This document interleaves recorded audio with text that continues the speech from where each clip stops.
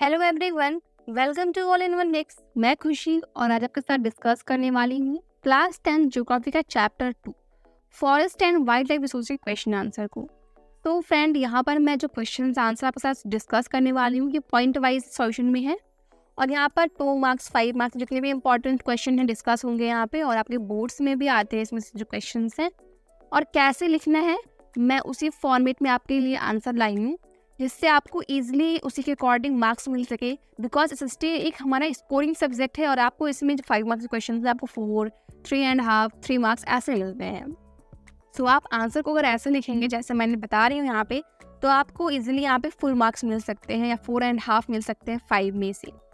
तो चलिए देखते हैं हमारा फ़र्स्ट क्वेश्चन है what is biodiversity why is biodiversity important for human beings तो यहाँ पर होता क्या है बायोडाइवर्सिटी आप क्या समझते हो? और हम सब मानव के लिए ये इतना इंपॉर्टेंट क्यों है? तो यहाँ पर सॉल्यूशन को देखिए आंसर हमारा है फ़र्स्ट वन बायोडाइवर्सिटी के बारे में पूछा है और यहाँ पर टू क्वेश्चन हैं और टू मार्क्स का क्वेश्चन ये आता है तो उसमें हम लोग टू पॉइंट लिखेंगे। तो हमारा जो फ़र्स्ट पॉइंट है, उसमें है the variety of plant and animal in the world और in a particular habitat which is usually consider to be a important and desirable is known as biodiversity तो जैसे कि आपको पता है कि हमारे संसार में बहुत सारे वैरायटी के फ्लोरा एंड फना है। मीन्स बहुत सारे वैरायटी के एनिमल्स हैं, प्लांट जिनको अभी तक हम जानते भी नहीं हैं। ऐसे बहुत सारे फॉरेस्ट है, उसमें प्लांट है, एनिमल हैं, जो अपने पर्टिकुलर हैबिटेट में रहते हैं। यहाँ पर हैबिटेट का मीन्स जैसे कि अगर हमारा वो है, कैमल है। कैमल का हैबिटेट क्या है कि उसे डिजर्ट चाहिए, रेगिस्तान चाहिए पेंगविन है, उसे आइस चाहिए तो वैसे ही वो अपने हैबिटेट के अकॉर्डिंग रहते हैं। तो वो उनके अकॉर्डिंग एक इंपॉर्टेंट रोल प्ले करता है तो वही हमारा बायोडाइवर्सिटी है। Second one is it is important for human beings हाँ ये हमारे ह्यूमन बींग्स के लिए इंपॉर्टेंट है because along with the biodiversity from a complete web of ecological system in which we are only a part and are very much dependent on this system for our own existence तो यहाँ पर देखो क्या होता है ना, कि biodiversity हम ह्यूमन बींग्स के लिए बहुत इंपॉर्टेंट है क्योंकि बायोडाइवर्सिटी एक ऐसा मतलब एक, जब तक अगर हमारा बायोडाइवर्सिटी बैलेंस ना हो तो कुछ भी लाइफ एग्जिस्ट नहीं करेगी। सिंपल सी बात है, अगर प्लांट नहीं रहेंगे तो हम ह्यूमन बींग्स नहीं रहेंगे। बिकॉज़ हम सब अपना फ़ूड उन्हीं से लेते हैं और एनिमल्स नहीं रहेंगे। मीन्स हम सब एक दूसरे के ऊपर इतना डिपेंडेंट है कि अगर हल्का सा भी डिसबैलेंस हुआ बायोडाइवर्सिटी में तो यहाँ पे जो लाइफ है ह्यूमन लाइफ है वो खतरे में पड़ सकती है। जीवन जो है, वो समाप्त हो सकता है। सेकेंड क्वेश्चन है how have human activities affected the depletion of flora and fauna explain यहाँ पर फ्लोरा एंड फना का मतलब है कि जितने भी हमारे प्लांट हैं एनिमल हैं, वो सभी इसमें आ जाएँगे।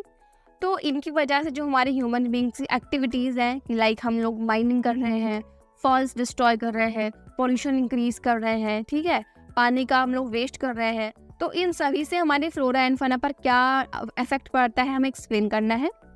तो आंसर है Human activities and man insensitivity to the environment have been the major causes of depletion of flora and fauna. Various activities carried out by men are तो यहाँ पर ये हमारा क्वेश्चन जो है टू मार्क्स का या थ्री मार्क्स का मैक्स टू मैक्स आ सकता है ये वाला। तो इसमें हम सब, जैसे कि हमारे जो भी ह्यूमन एक्टिविटीज़ हैं, हम लोग जो कुछ भी काम करते हैं मैं हम लोग फैक्ट्री में काम करते हैं इंडस्ट्री में काम करते हैं, जितने भी वेस्ट प्रोडक्ट होते हैं, हम लोग उसे इजिली रिवर में डाल देते हैं। जो केमिकल्स हैं, वो रिवर में जाती हैं। हमारी जितनी भी इक्वेटिक लाइफ है, वो भी हमारी फ्लोरा एंड फना के अंदर आएगी। उन पर भी इफ़ेक्ट पड़ता है। वो लोग डेड हो जाते हैं, ठीक है? बिकॉज़ वाटर में केमिकल्स रहेगा तो वो लोग उन्हें, उन्हीं में से खाना पीना ढूंढते रहते हैं। उनको वाटर जो है, वो उनका एक फ़ूड का ज़रिया है। तो जब भी केमिकल्स उनके अंदर जाएगा तो उनकी जो लाइफ है, वो इंड हो सकती है। और ये हमारा एक मेन एग्ज़ाम्पल है। और हम लोग बहुत सारे ऐसे केमिकल प्रोडक्ट्स का फॉर्मेशन करते हैं, जिससे हमारा जो पॉल्यूशन है वो काफ़ी इंक्रीज हो रहा है। तो हमारा देखिए, यहाँ फ़र्स्ट पॉइंट है डिफॉरेस्टेशन फॉर एग्रीकल्चर एक्सपेंशन हम लोग कृषि को आगे बढ़ाने के लिए जगह जगह के जंगल वगैरह जो है उनको काट रहे हैं, सफ़ाई कर रहे हैं, हमें ज़मीन चाहिए। Degradation of forest by shifting cultivation हम लोग जंगल जो है इसे बर्बाद कर रहे हैं शिफ्टिंग कल्टिवेशन का ये मीन्स कहीं पर भी हम लोग शिफ्टिंग कल्टिवेशन करते हैं, उसमें क्या होता है कि ना, हम लोग किसी पर्टिकुलर प्लेस पे जो प्लांट होते हैं, उन सबकी कट करके वहाँ पर खेती करते हैं, फिर हम लोग चले जाते हैं वहाँ से दूसरे प्लेस की तरफ़। तो यहाँ पर देखो, हमें अगर किसी भी पर्टिकुलर प्लेस पे एग्रीकल्चर करना है तो हमें वहीं पर करना चाहिए। ऐसे शिफ्टिंग कल्टीवेशन करेंगे अगर हम सब तो कितने सारे फॉरेस्ट ट्रीज हम लोग उन्हें बर्बाद करेंगे या फिर अगर हम जा ही रहे हैं शिफ्टिंग कल्टिवेशन करके जाते जाते हमें वहाँ पर न्यू प्लांट्स एंड ट्री लगाने चाहिए, लेकिन ऐसा करता कौन है? Third one is large scale development of project काफ़ी सारे प्रोजेक्ट यहाँ पर हमारे स्केल मीन्स वो इंक्रीज हो रहे हैं लाइक like अभी आप थर्ड चैप्टर में पढ़ोगे मल्टीपर्पज़ डैम का जो प्रोजेक्ट होता है वो लाइक like हम सब क्या करते हैं? डैम बनाते हैं, वहाँ उसके लिए भी हम लोग जंगल कट करते हैं बिकॉज़ डैम जो है ना, वो ऐसी जगह बनता है जहाँ पर ह्यूमन बींग्स मीन्स जो लाइफ है पीपुल लोग बहुत कम रहते हैं। तो इसीलिए हमें फॉरेस्ट वगैरह जो है, उन्हें कट करने पड़ते हैं डैम्स बनाने के लिए। माइनिंग एक्टिविटीज़ मीन्स हमें खुदाई करते हैं कि यहाँ पर कहीं कोयला तो नहीं है, यहाँ पे कहीं हीरा तो नहीं है। ऐसे हम सब ऐसे बहुत सारे प्लेसेस पे माइनिंग एक्टिविटीज़ करते हैं। यहाँ पर देखिए जो हमारी थर्ड इमेज है यहाँ पर ये माइनिंग हुआ है। सोचिए कितनी डीप हुई है कोयला निकालने के लिए खुदाई। क्वेश्चन नंबर फोर हमारा है, काफ़ी इंपॉर्टेंट क्वेश्चन है। Describe how communities have conserve and protected forest and wildlife in India तो जितने भी हमारे कम्युनिटीज़ हैं मीन जो समुदाय के लोग हैं, पुराने मीन्स जो अभी भी रहते हैं ट्राइबल्स पीपुल वो सभी फॉरेस्ट को बचाने के लिए वाइल्ड लाइफ को बचाने के लिए क्या क्या किया उन्होंने? तो हमें यहाँ पे इंक्रीज बताना है, उन्हें डिस्क्राइब करना है। यहाँ पर फ़र्स्ट इमेज आप देखोगे तो ये हमारा चिपको मूवमेंट का है। मीन से अगर आपको पेड़ काटना है तो पहले हमें काटना पड़ेगा, ठीक है? तो यहाँ पर चिपको मूवमेंट का इमेज इमेज है जो सुंदर लाल बहुड़ा को द्वारा चलाया गया था। नेक्स्ट हमारा ये शर्षका टाइगर रिज़र्व वाला है।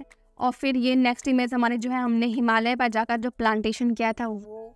और यहाँ पर देखिए हमारी जो फिफ्थ इमेज है, इसमें देखिए सुंदरलाल बहुड़ा गले लगे हुए हैं। तो यही थे वो जिन्होंने चिपको मूवमेंट जो है वो चलाया था। तो यहाँ पर देखिए हमारा ये क्वेश्चन मैक्सिमम फाइव मार्क्स का आता है, काफ़ी इंपॉर्टेंट क्वेश्चन है तो यहाँ पर हमने पॉइंट वाइज लिखा हुआ है।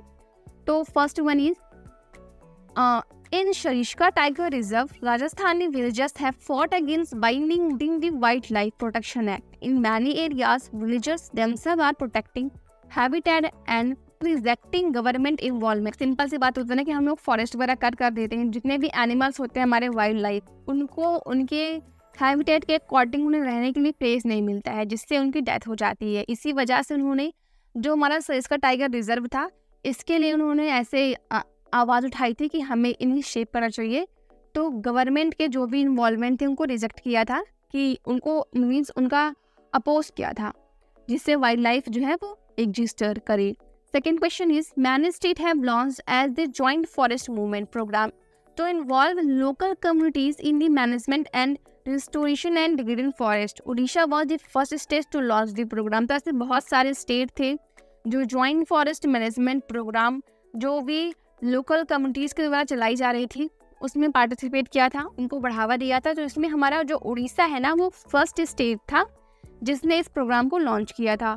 Third question is in of five villagers in the Alwar district of Rajasthan have declared about 1200 hectare of forest area as a Bhairav Dev Dakav Sonchuri तो यहाँ पर देखो क्या होता है ना कि जो हमारा राजस्थान में अलवर डिस्ट्रिक्ट है, वहाँ के फाइव विलेजर्स ने ये डिक्लेयर कर दिया था जो 1200 हेक्टेयर लैंड है फॉरेस्ट एरिया का, उसको सेव किया था।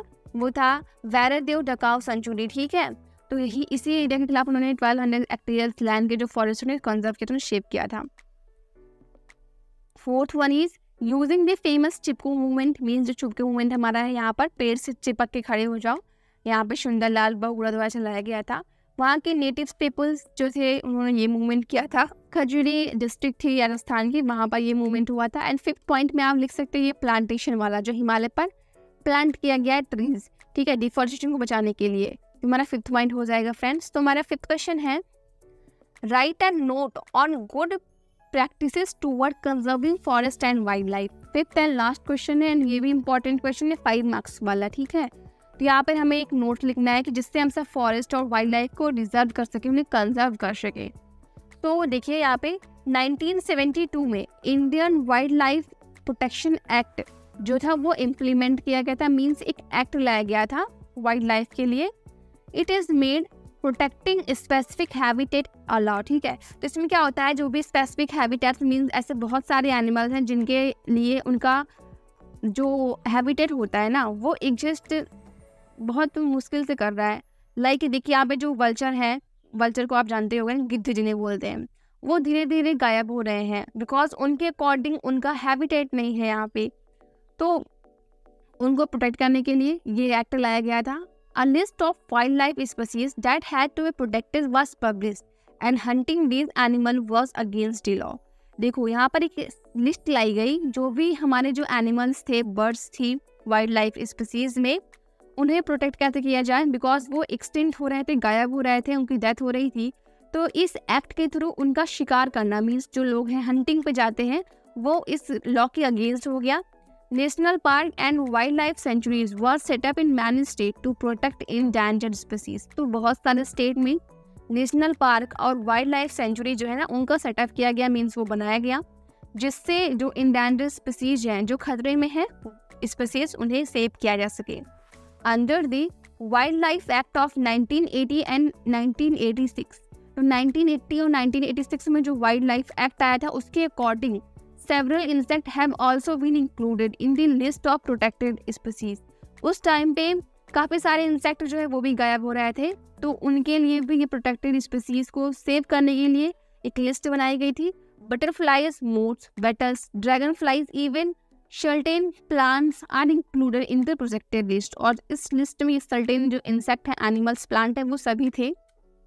फिर हमारा नेक्स्ट पॉइंट है project tiger was initiated in 1973 by the government of India to protect tiger 1973 में ऐसी कंडीशन आ गई हमारे इंडिया में कि हमें टाइगर को भी कंजर्व करना पड़ा, वरना आने वाली जनरेशन को पता ना होता कि टाइगर क्या होता है, वो दिखता कैसे है। तो हमें वो भी कंजर्व करना बहुत इंपॉर्टेंट था।